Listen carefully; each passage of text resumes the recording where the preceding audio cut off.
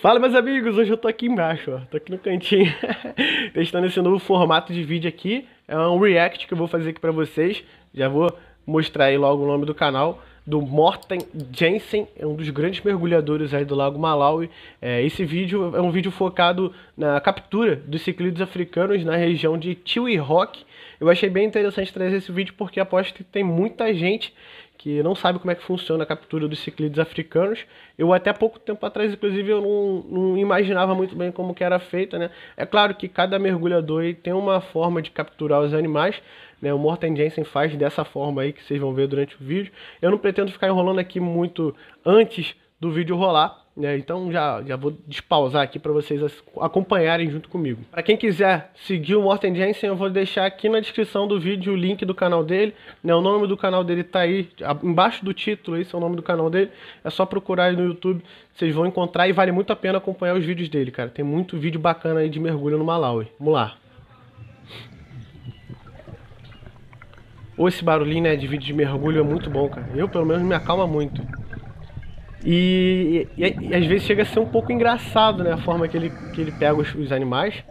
Né? Eu acho que vai ter muita gente que não vai concordar, obviamente, com isso, porque é um processo que estressa muito o peixe. E pode machucar também o animal. Mas, é, realmente, a, o processo de captura, cara, não tem jeito. Para qualquer tipo de espécie, o processo de captura, ele é muito estressante. Essa paisagem, coisa linda. É por isso que eu assisto muito vídeo de mergulho, galera. Daí que eu tiro muita ideia, né? Dos, dos hardscape dos meus aquários. Observação aí para o tamanho da rede que ele está usando. É gigante, muito grande mesmo. E a corda dela também é bem pesada. Tanto que os peixes não conseguem ter força suficiente para erguer a corda, né? Nessa parte do vídeo, se eu não me engano, ele está indo atrás de um, um listrado bem azulão. Tá aí bem no centro do vídeo. E tá indo atrás dele, tá vendo? Bem no sapatinho, ó.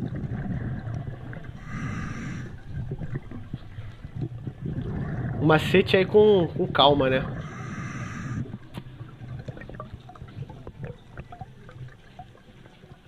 Aquela bag também que ele tá colocando os peixes. Bem interessante, né, cara? Um, um zíperzinho.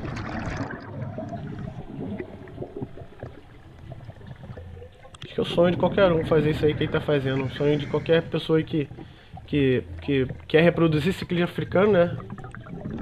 A captura assim, pô. Você chegar no lago e poder selecionar o peixe que você quiser ali para poder tá tirando uma cria, né? Fazendo um, um melhoramento genético aí da, das espécies, pô.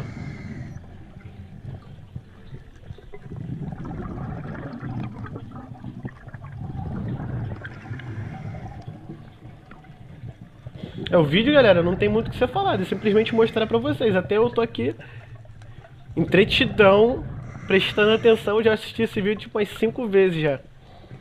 Mas toda vez que, que, eu, que eu assisto, eu acabo prestando atenção em coisas diferentes, principalmente na parte das rochas, né? Tipo, do, do, do da disponibilidade das rochas no, no, no lago. Outra parada bacana também é, essa, a, a, camada que tem nas rochas, né? Que chamam lá de, de biocobertura.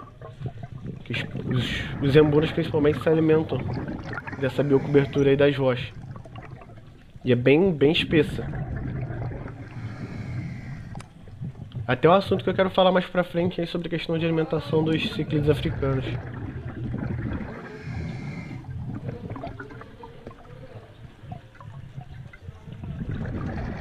Cara, um ambiente cavernoso, cara. Tipo, cheio de, de caverninha, cheio de, de tocas, né? Aí viu como é que ele fez pra poder... Ele, tipo, ele cercou antes o, o local do peixe que ele queria pegar. E depois, tipo, levou o peixe, né, com a mão assim até o... Até a rede. Bacana. É aquilo, né, galera? Um processo meio meio estressante pro bicho. Olha lá como é que ele, se, ele mesmo se prende. O, peixe, o próprio peixe se prende na, na rede. Ah, agora é a parte que ele vai pegar um monte assim de uma vez só. consigo pegar nenhum. O cara pega, sei lá, vai pegar uns seis aí de uma vez só.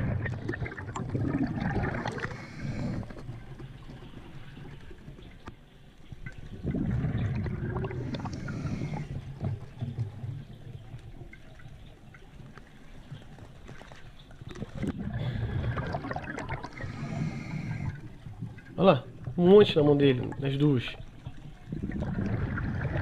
No meio do caminho já, já, já ter deixado todo mundo escapar da minha mão, olha lá.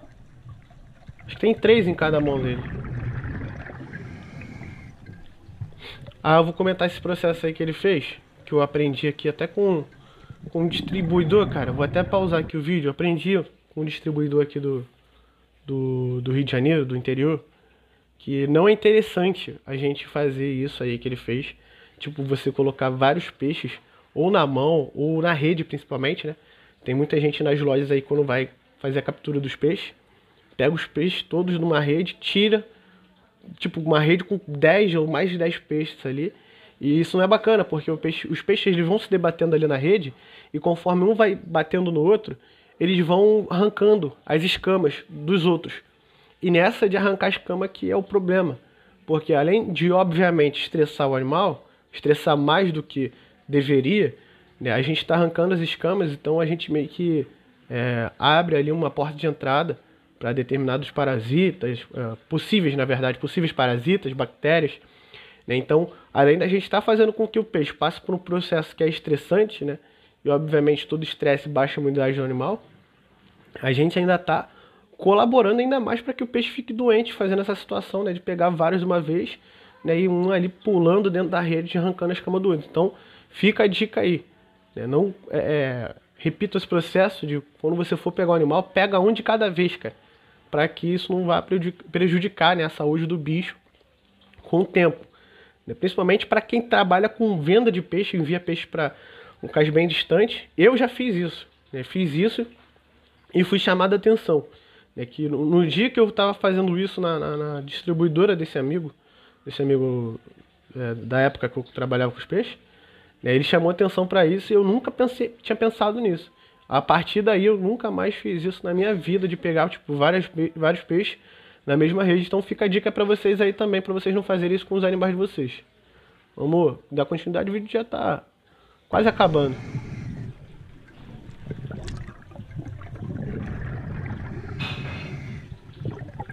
Tipo, é um processo simples, né? O processo de captura é um processo muito simples, cara. Não tem nada demais.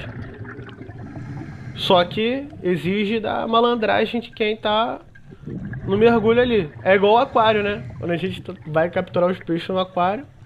E outra coisa, né? Você tem que conhecer a região que você tá capturando os animais. Lá pro fundo tem uns bichos bitelo grande pra caramba. É para quem diz que ambona não cresce? Olhando assim, fazendo comparativo com o tamanho da mão do, do Morten Jensen, é, os, os, peixes que ele pegou ali deve ter uns 15 centímetros aí, pelo menos. Acabou o vídeo. Ah, não, sai daí, Google. e é isso, galera. Acabou o vídeo. É, eu espero que vocês tenham curtido esse formato de vídeo aí é, trazendo um pouco de como que, que rola a captura no, Lago Malawi. Esse é uma da, é, essa é uma das formas de, de, de ser feita uma captura de ciclídeo africano. Acredito que poucos daqui do Brasil sabem como que funciona né, a captura de ciclídeos africanos. Você imagina se no aquário né, é, é, já é difícil de pegar, você imagina na natureza, que o cara é, parece ser fácil pra gente porque o cara é especialista, né? O cara já está acostumado a fazer isso, já tem todas as manhas ali é, mas mesmo assim, é uma coisa que eu acho que é mais vantajoso para quem vai capturar na natureza é que a gente não está capturando um animal que é criado em cativeiro, ou seja, o animal que é criado em cativeiro ele já é mais estressado, né? já é um animal assim, mais assustado. É, é um animal que é criado, ou seja, num, nos tanques ou em aquários, já é um animal por si só mais ligado em tudo, né? Diferente do animal que é que está dentro do lago. Então você, vê que a rede às vezes vai se aproximando de algumas espécies ali, de alguns peixes, e eles nem aí. Eles só vão se ligar mesmo na hora que já estão presos ali na rede. Então espero que vocês tenham curtido. Deixe aqui nos comentários o que, que vocês acharam dessa forma de capturar, os peixes. Né? Lembrando que a captura do peixe não é, é, é, dificilmente a gente vai ter uma forma de captura que vai ser menos, é, vai, não vai estressar o peixe. toda, toda captura estressa o animal. Então o que acho que a gente precisa fazer é reduzir os danos causados pela captura, né? Porque é, dependendo do estresse que a gente vai gerar, e essa situação também que, é, é, olha só, eu tô, eu tô fazendo observação num possível erro do, do especialista, do cara que é mais, mais top aí do, do mundo. Né? Mas não tô fazendo nada por mal, né, galera? Eu tô fazendo pelo que eu aprendi. Então eu acho que daquela forma não deveria ser feito, pegar vários peixes de uma vez só. Eu sei que é muito mais fácil, muito mais prático, né? Fazer dessa forma, mas principalmente quando se trata de peixes assim, selvagens, né? é meio complicado. Eu, eu não faria dessa forma. Mas enfim, galera, é isso. Espero que vocês tenham curtido o vídeo. Deixem nos comentários o que vocês acharam dessa forma aí de captura né, de ciclídeos africanos, que a gente vai trocar uma ideia. E fala também o que vocês acharam desse formato de vídeo, beleza? Provavelmente mais pra frente aí vou estar tá trazendo mais vídeos como esse daqui. Beleza, galera? Não se esquece né, de se inscrever no canal, ativar o sino das notificações e deixar aquele like maroto pra dar uma moral pra gente aqui. Segue a gente também lá no Instagram, arroba. Valeu, meus amigos. Então é isso. Tamo junto, é nóis. Fiquem todos com Deus e fui.